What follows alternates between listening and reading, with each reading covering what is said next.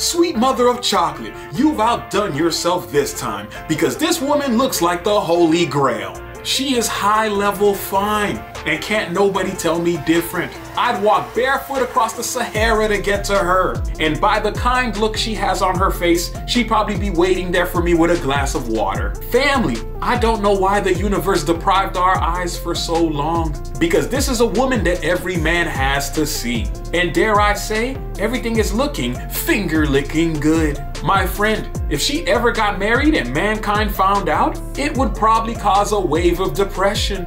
That would be a piece of information that she has to keep to herself. Because I don't think we could take another heartbreak. I mean, look at her. She's pressure.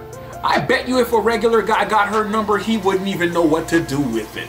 This man would probably send 10 messages in a row, a bouquet of flowers to her house, and pictures of his dog.